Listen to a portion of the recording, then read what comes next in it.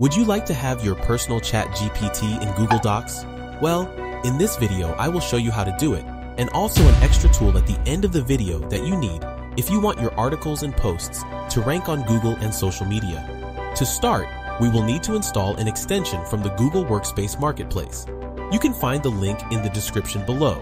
Now, moving on, let's go to Google Docs and select a blank page. Then, to make use of this tool, we need to activate it. To do so, go to Extensions, then select Docs GPT and click on Launch. In some seconds, it will open a window that do the magic.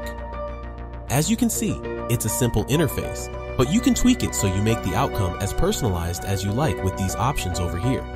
If we dive in, we can see it has a variety of type of text that we can create. Some examples include full articles, tweets, personalized emails, or even social media posts for Facebook and Instagram. Then the next option is to select how many subtitles we would like in our article, but keep in mind this is a premium option if you want to make more than five subtitles. Next we have the writing tone. For me, makes the whole difference. We need our text to be as engaging as possible and tones play an important role.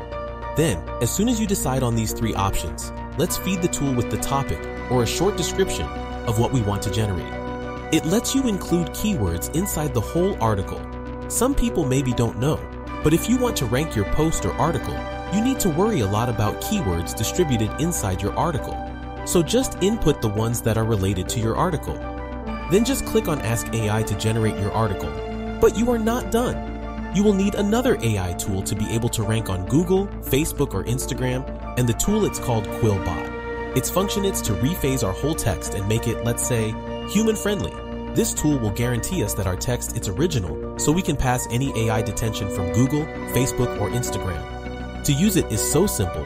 Create an account with the link below and then just paste in your text. It has so many types of modes and you can even choose how much you want to reface it with this bar. It have a paid version for $4 that is totally worth it. Make sure to check this next video